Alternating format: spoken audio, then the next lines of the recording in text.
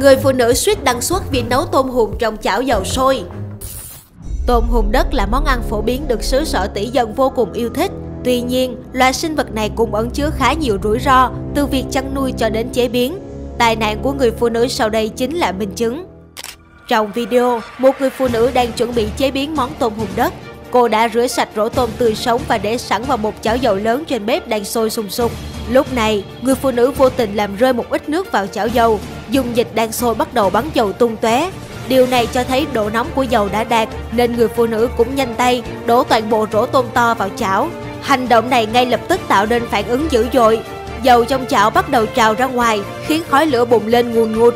Thấy tình hình không ổn, người phụ nữ hoảng hốt, vội vàng bỏ chạy ra khỏi khu vực bếp. Còn chảo dầu thì vẫn đang tiếp tục bốc khói và thậm chí có nguy cơ phát nổ.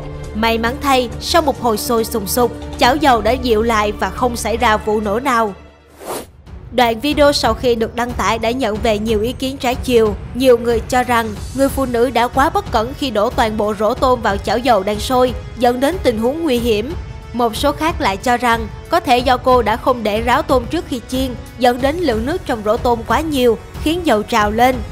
Dù nguyên nhân là gì, thì sự bất cẩn của người phụ nữ trong lúc chế biến món ăn đã dẫn đến tình huống nguy hiểm.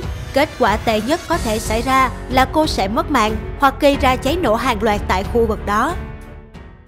Cảm ơn các bạn đã theo dõi video hôm nay của Bitop. Chúc các bạn một ngày thật vui. Hãy nhớ đăng ký kênh để nhận được những thông báo mới nhất từ chúng mình nhé.